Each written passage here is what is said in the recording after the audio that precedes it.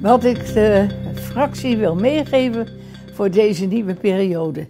Dat is in ieder geval solidariteit met de zwakkeren in de samenleving. En dat zijn onder de ouderen met name de kwetsbare ouderen. Ik heb gestalte gegeven aan solidariteit in dit huis toen ik voorzitter was van de bewonerscommissie. Toen het restaurant failliet ging, heb ik allereerst de staatssecretaris aangeschreven, want ik vond dat het zijn taak was om uh, dit restaurant open te houden. Zeg, voor ik het vergeet, volgende week woensdag moet je er maar 15 gebakjes meenemen. Oké. Okay.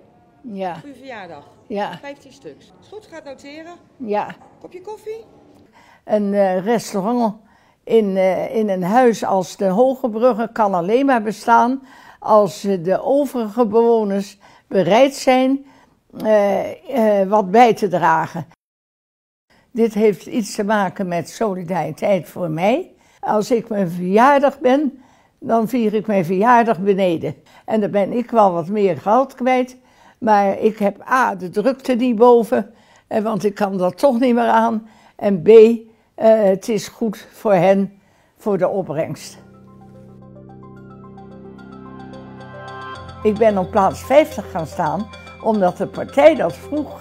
En ik ben de partij altijd nog hartstikke dankbaar dat ik zoveel kansen heb gekregen. Want alles wat ik ben geworden, ben ik door de partij geworden.